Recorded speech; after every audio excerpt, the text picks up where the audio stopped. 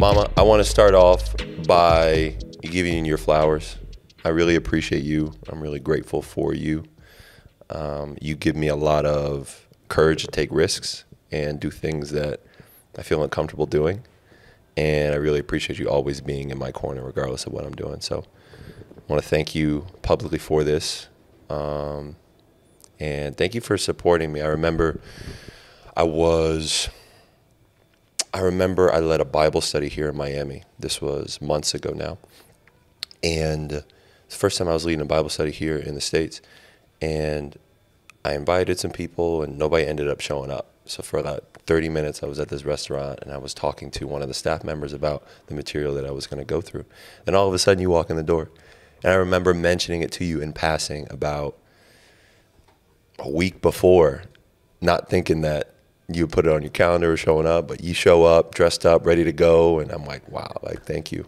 Um, and it meant a whole lot to me, and it really means a whole lot that you're here right now. So thank you. Oh, you're welcome, babe. Thank you. Yeah. I love you. You know, when you said you were doing your Bible study and it was your first one, yeah. I mean, I was so grateful to be able to be there. Uh, I'm so proud of you. I love you. I want to give you your flowers as well. Thank you for making me a mommy, you know, and, and introducing me to um, love like I've never experienced before. So I thank you as well. Thank you, and Mama. it's an honor to be here. Thank you, Mama. So, what Coach Kama is about is helping people show up prepared for every season and every single arena that they may step into. And I love one of the groups that we're focused on serving is the 450 in the NBA with our expert demographic. And the experts aren't just the 450, it's the wives, it's the kids, it's the entire families. Because once a player reaches that platform of being amongst the elite of elite in the NBA, their whole family is elevated to that platform as well. That comes with a whole lot. And I would be doing I would be doing people a disservice not to mention the people who are behind the scenes, manning the fort, holding it down, literally. And you are one of those people and you've done it excellently for years. And I'm amazed at the position that God has put me in to learn from such amazing people, both on the court and off the court. And you're at the top of that list off the court. So I want to hear. Bugs, you're just going to make me cry like the whole time. That's why I brought these tissues. That's why I brought these tissues here. And uh, really, the way you and dad met, it's such an interesting story how y'all met in high school. And you can talk a bit about that now and how the career has gone through so many different seasons from high school to college to pros to out of the pros to back in the pros again and you've been through so much. So i want to hear a bit more about that journey and whatever you care to share with the listeners of the podcast i would love for you to. Yeah well that journey you know it it really is so interesting and it wasn't a journey that i planned or um, you know I, I just felt along the way, every step of the way, including this moment that it has been God. Yeah. You know, your father, as you mentioned, our story was that we met in high school. We were pen pals in high school. You know nothing about that. No. we wrote letters to each other in high school, and that was our way of communicating because long distance calls, it, we didn't have cell phones or anything like that. That was very expensive. So we were pen pals in high school and then happened to go to college in the same city. I went to Howard, the Mecca, as I tried to get you to go, but that's another conversation. Uh-huh. And uh, you uh, and your dad, your dad went to Georgetown, yep. and so we happened to be in the same city, and that's how we started dating during that time. And you're right; it was high school through college through uh, the professional career, and it's been an interesting experience. I'm grateful for it all, for every step of the way, um, because again, I believe you know that's how we're here, and um, you know, like I said, I couldn't have written it. Mm-hmm. You know, I've always believed and, and, and thought like God had great things for me in this world. And this whole experience, like you said, there's only a small number yeah. of people that get to experience the, this lifestyle. And um, it was a blessing the whole way. Yeah. Yeah. how have you been able to serve people through the game of basketball? Well, you know, basketball, because it is going to this level, the professional level, it is such a large stage, and it's not just the players that are on that stage, it's families. And, you know, so the work that I do in serving the community, uh, you know about, and some people may know about Honey Shine, the Yeah. mentoring program uh, that I have, that we have Yeah.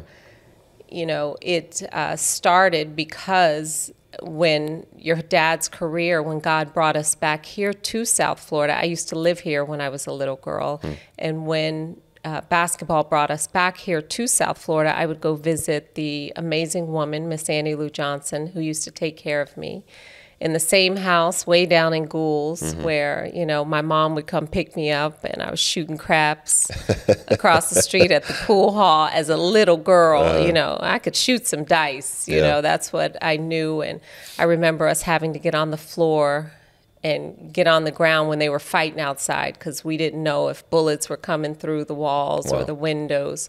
And that's what I remembered. But when I would go back and visit Miss Annie Lou, I just I was just so happy to see her. She was Yeah. a, a, such a blessing. Her and um, Uncle Head were such a blessing in my life. And I remember seeing groups of girls walk around the neighborhood, and I'd wonder which one am I out of that group? Had it not been for the mommy in my life, or Miss Annie Lou, or Mama Rainey, the women in my life. And I know what God had allowed me to see, Yeah. you know, in college, eh, growing up in Vegas, and and, and living the life, uh, you know, that God had blessed me with. And I had just wanted those same little girls to have that same opportunity. Yeah. Like if they just saw what was up the Yeah. street, what was over on the beach, you know, the Yeah. hotels and the the just different opportunities out there, they could do whatever they wanted in this Yeah. world. And God placed it on my heart. When people say, How did Honey Shine start? It was God. Yeah. It was God that placed it on my heart Amen. and said, Tracy, that what you've got to experience, I knew everyone didn't grow up with a mom like me. Yeah. Uh, you know, Yeah. I had the best mommy in the world, Yeah. the greatest mommy in the world, and I'm so grateful for her. But I knew not everyone had that. Yeah. And people would always say, "How did you turn out okay?" Whatever okay is, growing up in Vegas, or you know, growing up and, and having the life that you did. How how did you make it happen? And it was because of my mom Yeah.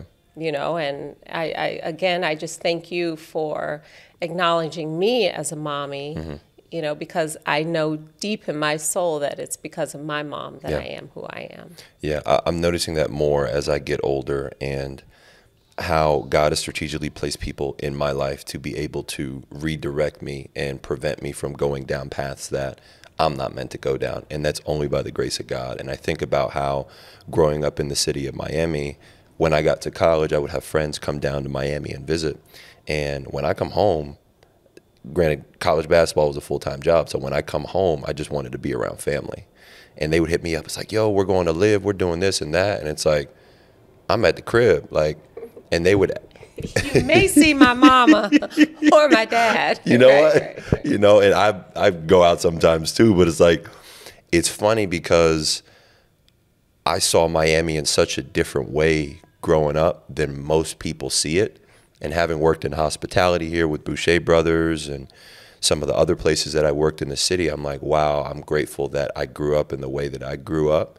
And now that i have the wisdom and discernment to help people see the city in a completely different way. Because there's some amazing people down here some amazing communities down here and amazing ways to serve. And one of the things that i'm most proud of our family is that we made and are making an impact in the city that we grew up in yeah because you're never done growing up, right? And thinking, I'm 26, going on 27 this year, and you and you and Dad got married at, at 27, and you all came to Miami at what 25, 26? i guess so huh Yeah, 90, no, 26. 26 So at my age, you got here to the city of Miami. so 26 at your age yeah Yeah, yeah yeah, and then yeah married i think 28 Yeah. yeah you twenties. yes yeah, Yeah, so oh, I know I'm supposed to hold the mic up, but um, you know, that whole experience, this is why you never know what God has Yeah. planned. And you can't look at your life and compare it to someone Yeah. else's. That's where we come up short Yeah. when we start to do that. Where if you're thinking, like, oh, by this age, I'm supposed to be married or in Yeah. a committed relationship or career wise, that's where we fail when Yeah. we start to compare, including to our parents, Yeah. including with our peers. Yeah. You know, so I just hope that you don't do that Yeah. because it's not necessary. No, it's it, it's not. God gave me a word a while back in Psalm 91. It says that he, whoever dwells in the in the shelter of the Most High, will abide in the shadow of the Almighty. And what he said to me is, if you're in my shadow, you're not in your Father's shadow. Yeah. because the plans that God has for me are completely different than the plans that He has for Dad, that He has for you, that He has for Micah and Elijah and, and the rest of our family, my teammates as well. And it's so grounding knowing Jesus because it allows me to come back to this place of, oh, like I'm okay. Like, uh, oh, for I know the plans I have for you, plans to prosper you and not harm you, to give you hope in a future. So it's really and I encouraging. think that's what the I don't want to I don't like the term enemy or anything like that, but that's that negativity that wants to introduce you to things like oh, comparison. Yeah. That's the thief Yeah. right there. That's that's that's where you're robbed when you compare yourself Yeah. in any way shape or form. Even if you compare yourself today to yesterday. Yeah.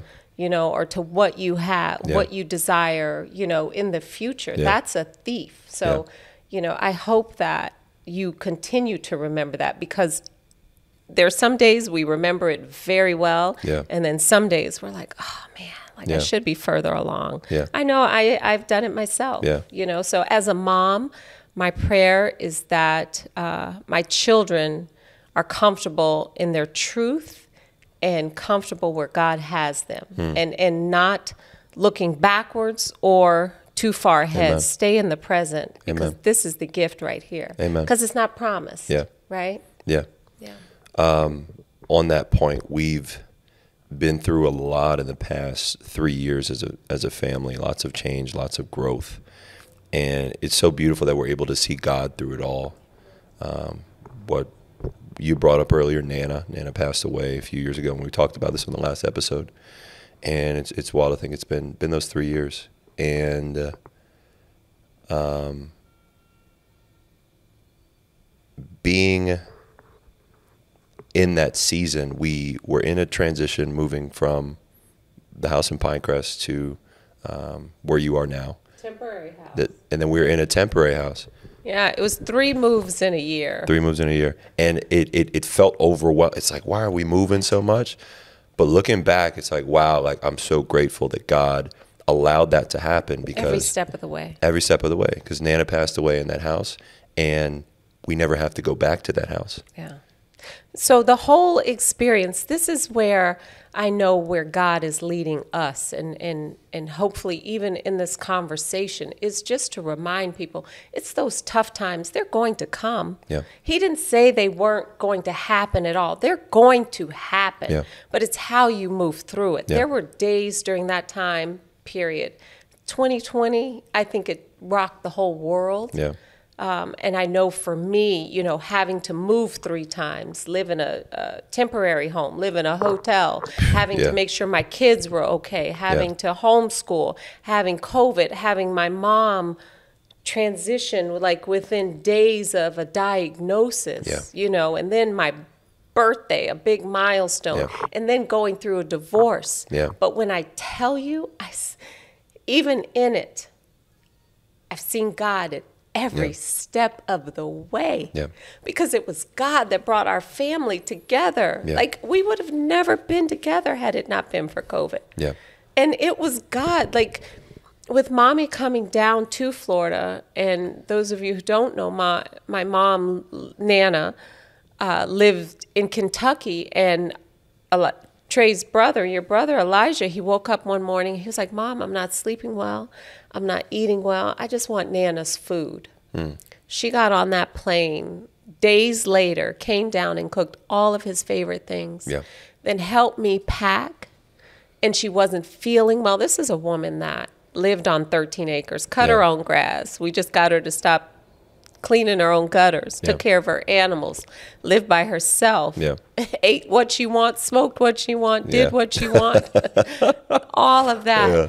You know, but she got on that plane because her grandkids called her. Yeah. And she listened, Yeah. you know, and that was God because she would have been up there stuck Yeah. during the pandemic. Yeah. But it was we were all together. Yeah. So thank you, God. Yeah. So eh, what I have learned through that experience, and I think what we all need to learn through those tough experiences in our lives, is to see God every step of the way Amen. because God is orchestrating it all, Yeah. and it will be used for something great Amen. for our highest good. Amen. This place where I sit right now, this moment in time, thinking back of all that heartache, all that pain, all Yeah. that what I felt was suffering, Yeah. but God, it's Yeah. so worth it. Yeah. You know, it's so worth it because I see his face. Yeah. And and my mommy transitioning, the blessing in that, I miss her every day. Not a moment goes by that I don't miss her. She's my my ace. But I know in that moment when she transitioned she, as much as I love her, as much as you all love her, as much as the world loved her, in that moment when she went home to glory, mm. she had never felt such love in her mm. life. Mm. And my mother got to feel that. Ha! Yeah. Again, I'm the luckiest girl in the world. And then my kids got to be there for Yeah. that. But God, Yeah. That's why I tell you too, like no matter what you're going through, it's not easy. Yeah. You're gonna have it. But stay out of here. Yeah. You know, and even this, our hearts betray us too. Hmm. But when you listen to your soul and your spirit and you're connected to your truth, you can make it through anything. Yeah. Through anything, Yeah. babe. Thank you for that. Um, Thank you. I remember just how everything was orchestrated, like how I ended up in Miami during that time too. We were playing a game in Orlando, had flown down, and then the NBA had shut down their season, and I didn't have to get back on a plane again. I just hopped in a car from Orlando and drove down to Miami. One of the last games of the year. So for all that to line up, and we had all the cousins in the house. We had you, Auntie Lisa, um, Mike and Elijah. Like we were all in that place. The dogs Together. We hadn't been there like that in no, years. we hadn't been like like it was like a family vacation in a way, and to to see Nana off that way was was really special. We all had our time with her, um, and wow, it was like this. It's humbling too. Yeah. It It's- really it's is. so- like God, you love us that much. Yeah, it's really really humbling. It's like you you can't you can't complain because you see His goodness in it all, and uh, man, like even the questions that we do have, it's like you know, He He knows better. He knows why that had to happen. He knows like righteous high. Like I remember getting the idea for righteous high in that house, short like minutes before Nana had actually transitioned, and uh, I remember. I remember the last words I spoke to her, all that, and it was just like, it was this, this peace that surpasses understanding. Yes. You know, um, this peace that surpasses understanding, and I really know that strength is weakness. How it says in Second Corinthians twelve nine, like, in our weakness, His strength is made perfect. And like, wow, that was such a humbling time. Like, God, this is where I'm at. This is where I'm actually at. And Nana was at that point, and like you said, it's so beautiful to see um, the strength that she had to be in, in her life in, in so many ways to so many different people. She was able to finally be taken care of by people who she's taken care of.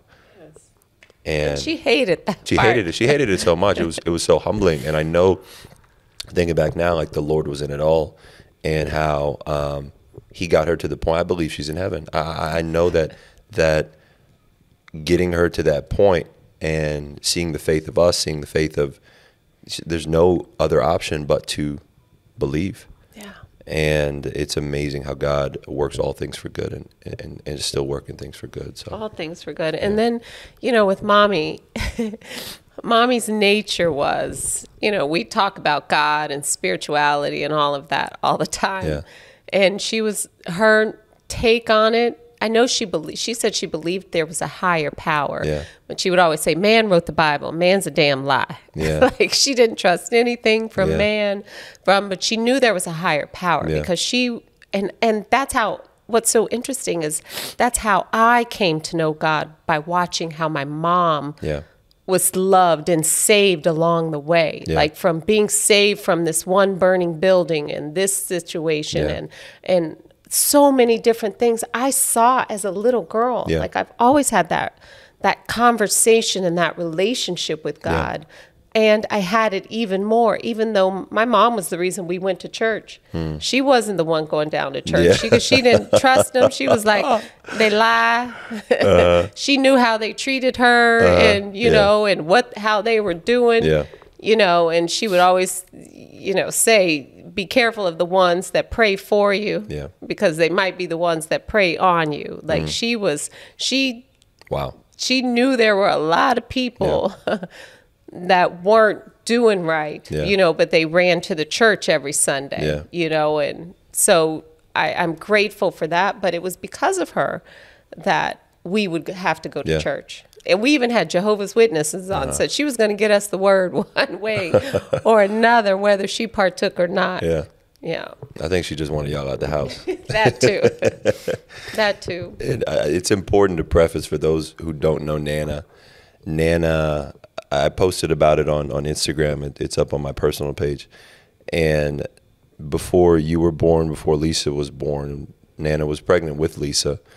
Nana was married to a white man, and Nana is a white woman. Was a white woman, and uh, she had her three kids from a previous marriage taken away from her because the courts at the time, I think it was either in Ohio or Kentucky. It was in Kentucky In in, Kentucky. 64. Yeah. And the judge says 20 years from now, it's not going. She married.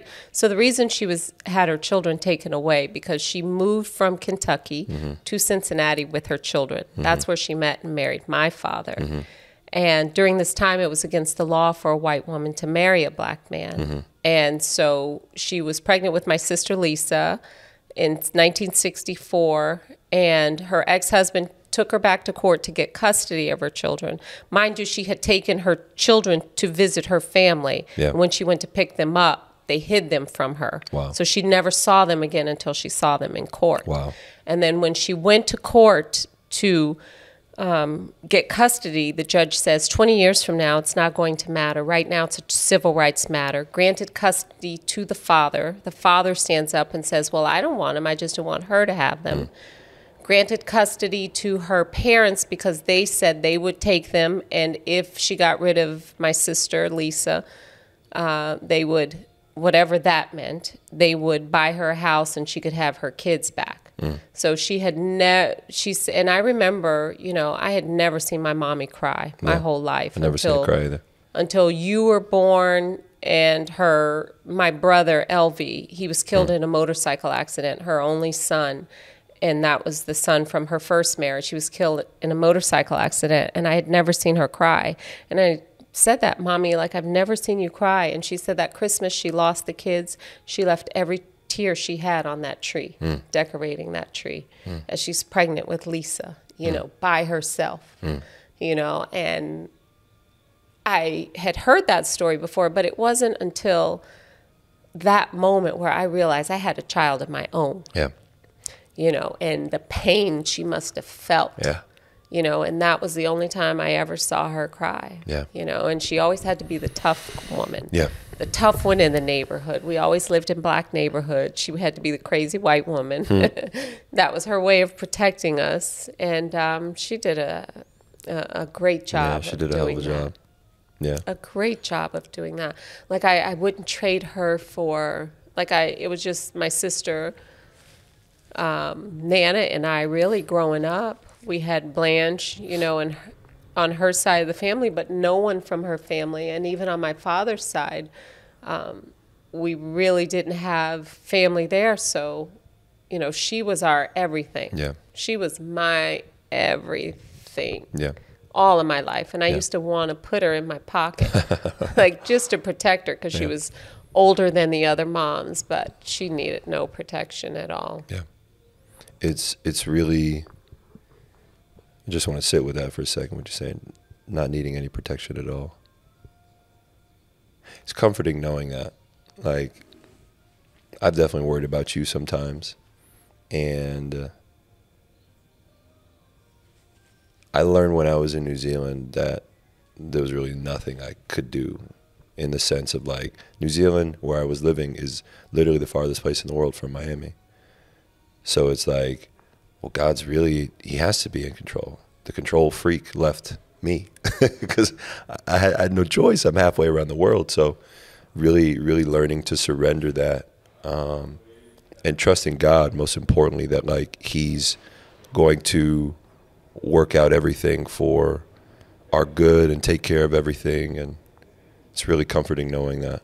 Yeah. And so when you mentioned in New Zealand, I can tell you as a mom that what's comforting for me, like you could go anywhere in the world. Yeah. You, your brother and sister, I want that for them too.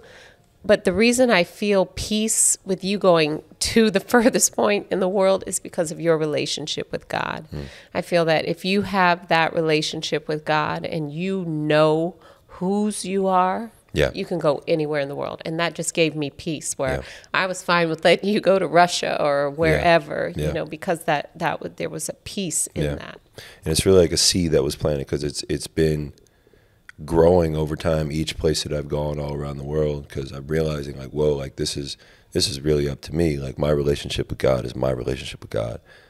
No, I'm no longer living vicariously through another person's prayers and as powerful as it is to have a praying mother. Shout out to all the praying mothers out there.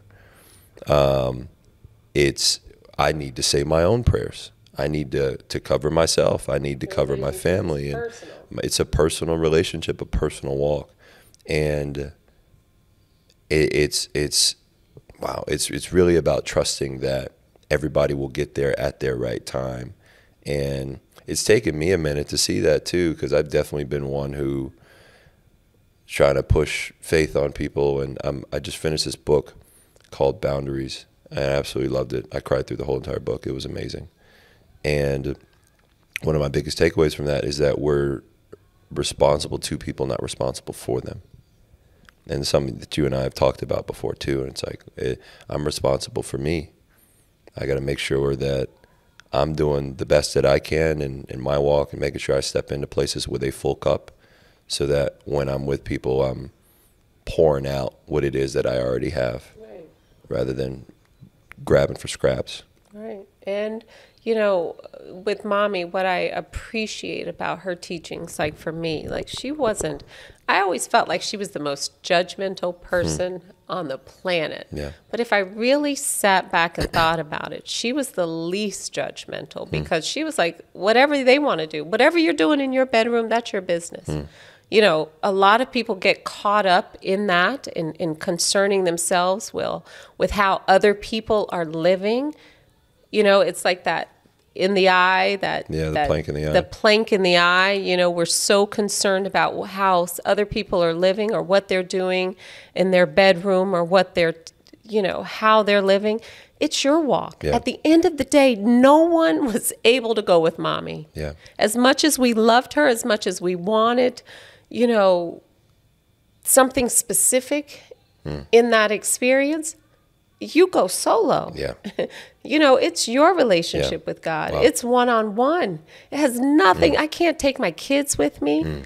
You know, I couldn't I couldn't have taken my partner with me. Hmm. No one. It's you. Wow. You know, and you have to be okay with that. Yeah. But when we spend our time uh, judging or criticizing or concerning ourselves with everyone else outside of ourselves, mm. that's that's when it gets heavy. Yeah. That's when it becomes a, a load that we can barely bear. Yeah. I, we have our own stuff to work through. Yeah. And when you mentioned how you were working to lead people, you're supposed to lead people, mm-hmm. but you're not supposed to tell people what yeah. to do. But that comes with maturity. Everyone's yeah. walk with their their faith and you know that, that it's there are steps to it. There yeah. are levels to it. In the beginning, I remember telling my mommy, "Mommy, you have to pray. Mommy, you have to do this. Mommy, you have to do that." she would cuss me out every time with every cuss word under the sun. You know, but at the end of the day, it was her walk. Yeah. It was her journey. Who am I to judge her? Yeah. You know, but we just naturally do that. And I think with moms, hmm. we tend to, and I can say that for me because I feel like that way with you mm-hmm. and with you and your sis- siblings, but I know I was that way with my mom. Mm-hmm. We tend to judge moms Yeah. With a through a different lens. Yeah. Like this lens where they're supposed to be so perfect Yeah. in every way Yeah. because they are moms. And you know, we're pretty good most of the time, but we're human. Yeah. You know, and this is where the grace comes in. But I feel that as young people, you tend to give that grace more once you've experienced some sort Hmm. of uh, maturity, whether it's having your own family, Yeah. you know, or, or your own hardships or Yeah. Mm-hmm. experiences, however it comes, you know, I think you get there eventually. It, it's for me. It's been doing the work and really stepping back and seeing where I am. Like I, like I said before, I'm 26, and you had me at 27, and to think of myself having a child, Take your time, Trey. to think of myself having a child next year, I don't feel super overwhelmed by it. To be honest with you, Well, good. What I- I'm glad you're not overwhelmed, but just take your time. Uh-huh.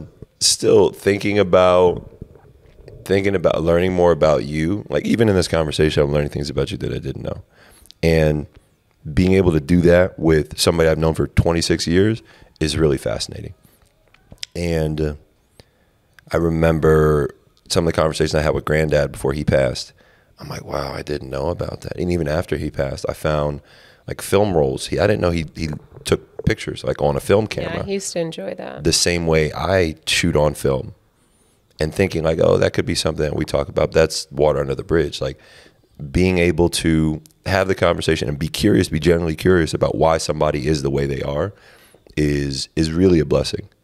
And another thing I'm learning is like it's not on me to it's on me to deliver and ask the question. It's not my responsibility how they receive it per se. You understand what I'm saying? Like what? Give like I can ask you a question. I can ask you out of curiosity, and in being curious and asking you questions, it's my responsibility to ask the question and present something in the best way possible that I can. It's not my job to receive it. I got to take the person in mind, take their thoughts, their concerns, their feelings in mind, and I present it the best way I can. Understand what I'm saying? Kind of, but like it with receiving it, it's however you receive it. But I feel like if we have uh, our filter, as long as we don't take it personal, Yeah. right? I think that's where Yeah. we tend to go left, is when we take someone's response or approach personal, and I- that's human nature to. Yeah. do that because it's like, wait, why are you acting that way? Why are you doing that? What does that mean? But you know, let's not take it personal. I think that makes life a lot easier. That's hard to do. Yeah. You know, because so many things are personal. Yeah. You know, especially when it you feel hurt or, you know, pain or neglected in some way.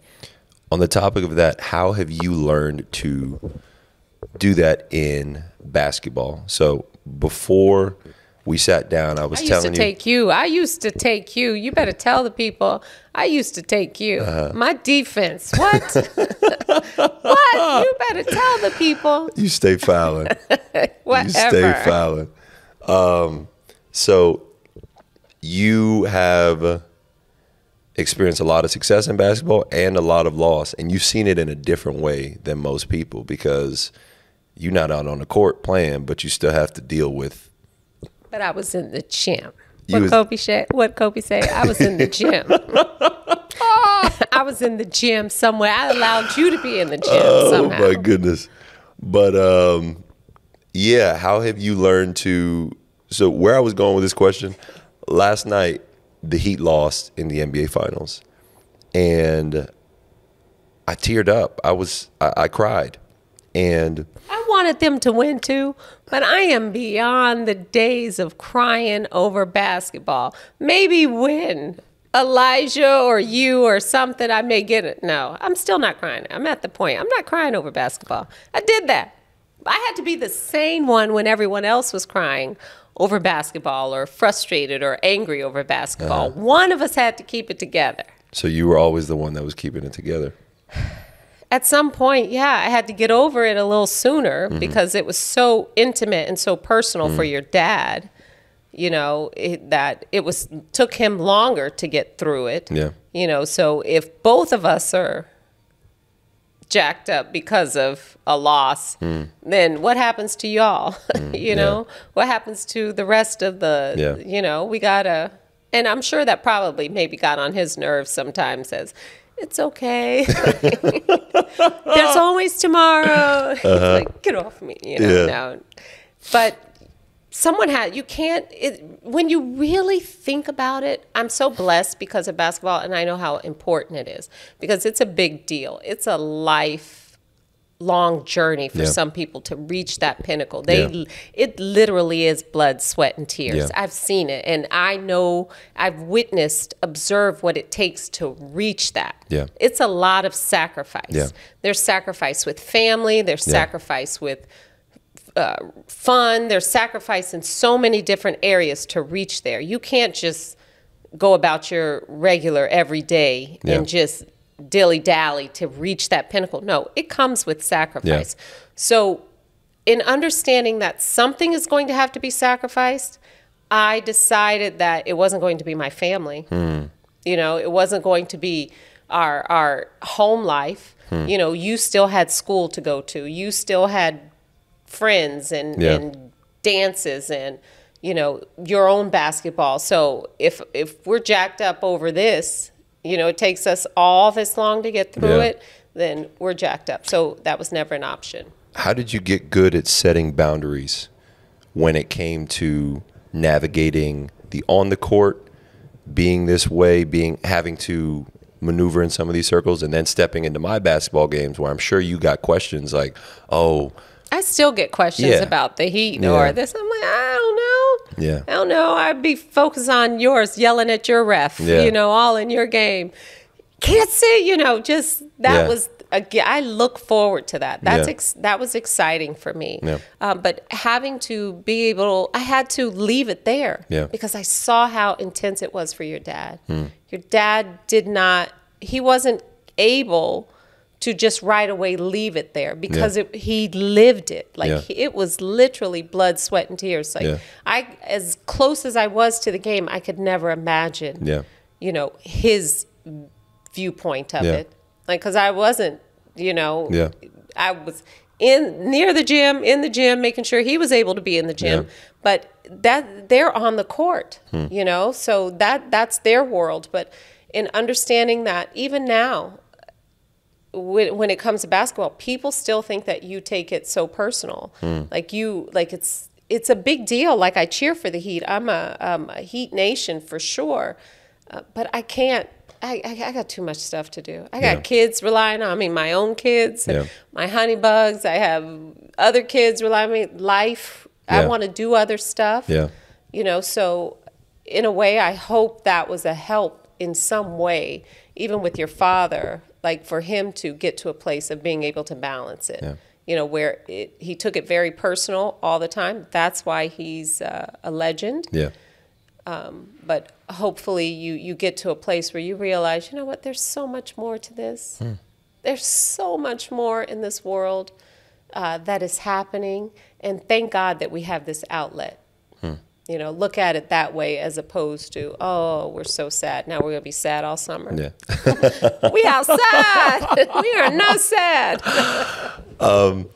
what advice would you give to your 26 year old self on draft night?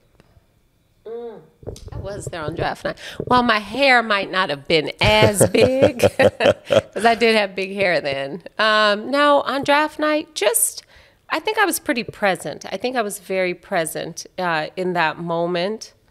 I don't know. Thank God I didn't know what I knew at that time because I I might have ran. Yeah. you know, I might not have, you know, hung in there Yeah. Uh, so God gives you what you're supposed Yeah. to know, but it was it was all a blur. Yeah. Thank God there are, are pictures or videos because Yeah. it really is all a blur. You know, because life goes on Yeah. in that moment. Yeah. You know, and then me being uh, a, a graduate of the Howard University, you know, that mindset of looking at the whole draft aspect and how I felt like guys were, you know, objects and, you know, Yeah. their how much they weigh, you know, where Yeah. they come, their statistics and things like that. You know, certain things of it I didn't appreciate. Um, but it's all a part of the game. Yeah.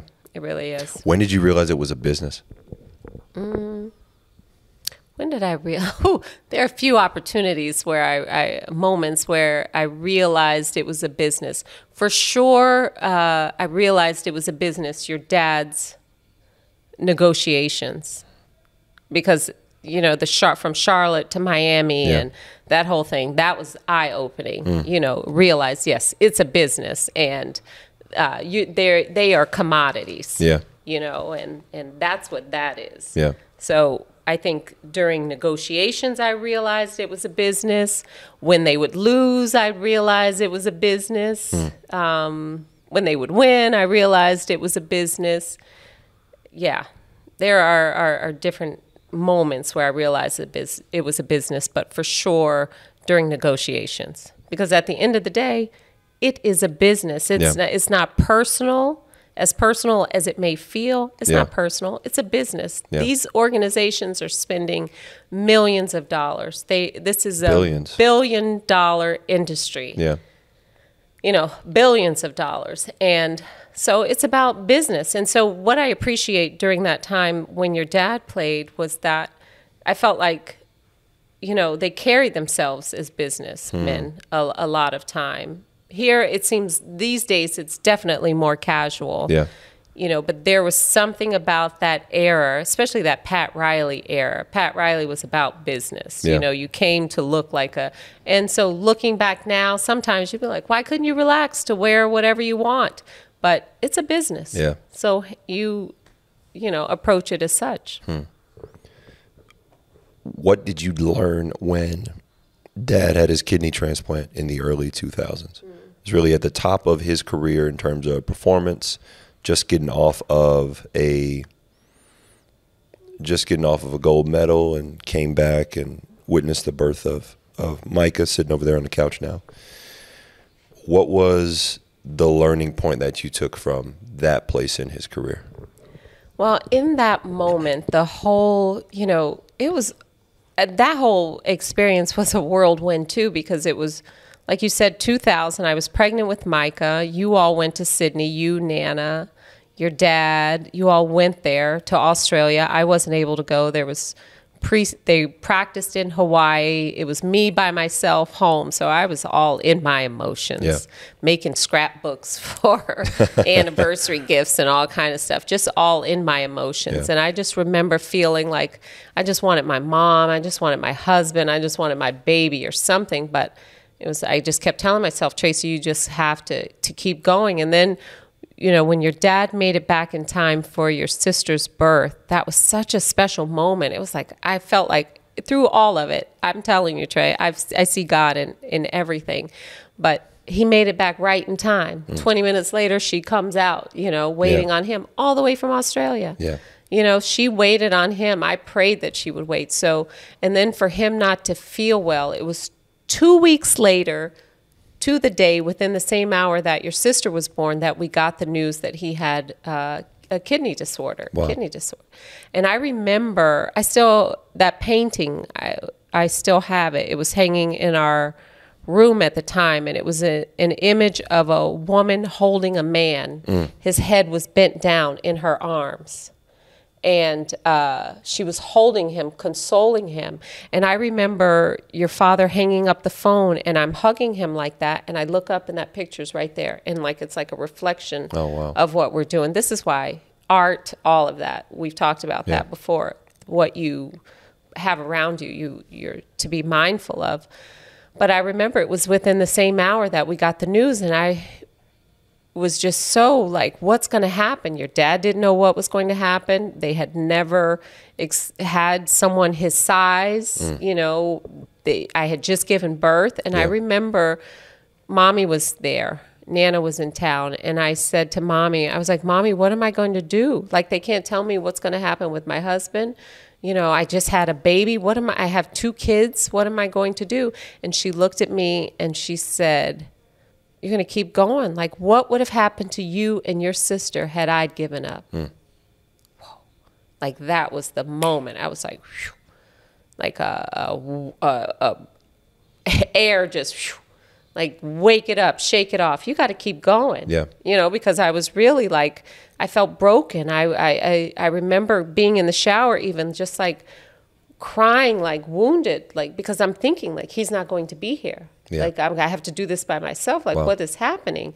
And so when mommy said that to me, what would have happened to you and your sister had I given up? It was like, girl, get it together. Yeah. Keep going. So what's next? And when your father had his when he I remember we were back and forth between New Jersey and here and trying to make everyday life normal while he played basketball. And I remember the day that he um, went in for surgery, I had such a peace. Yeah. I slept. Like Yeah. I had such a peace. I knew he was going to be fine. Yeah. Like God made it and there was chaos all around, people and relatives and this and that, but I, I just knew in my spirit th- that I had peace about it. Yeah. And so I knew he'd be fine. I, I basketball was the least of my concern. Wow. Of course, he wanted to play more, but I could care less about basketball. I just wanted my husband, you know.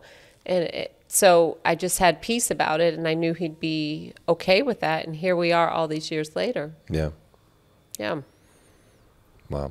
It's it's interesting how that moment has led to so many different things in terms of how I view basketball and I remember ESPN being in the house at that time when we were in New Jersey and just seeing the cameras. And Coach Thompson came.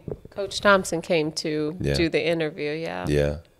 And uh, it's just amazing how how it's it's a it's a business and it's a family in a lot of different ways. Like I'm so grateful for growing up in this space and sometimes when people ask me questions it's like, well, you wouldn't really get it. Like it's it's really deeper than that. I can do my best to explain it and I think that is what I'll do through through this podcast and, and through my career in terms of helping people really conceptualize the fact that yo like when I'm talking about Patrick Ewing or AI and D Wade like these are my dad's coworkers the same way your dad may have coworkers the same way your mom may have coworkers and it's just these coworkers are more visible than your dad and mom's coworkers. Mm-hmm. And then they're like family. And they're like Patrick, family, yeah. Uncle Dikembe, Yeah. you know, Dwyane. It really is a family. And with just like all families, there's dysfunction. Yeah.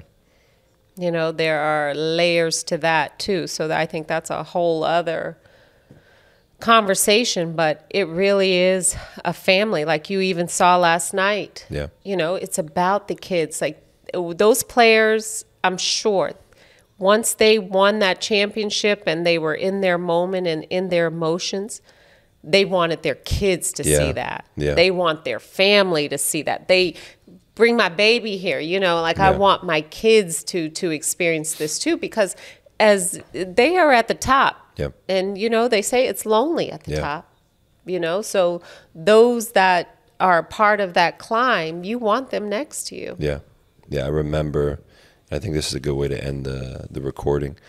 I remember shooting hoops during the Eastern Conference Finals in 06. and I wasn't even watching the games.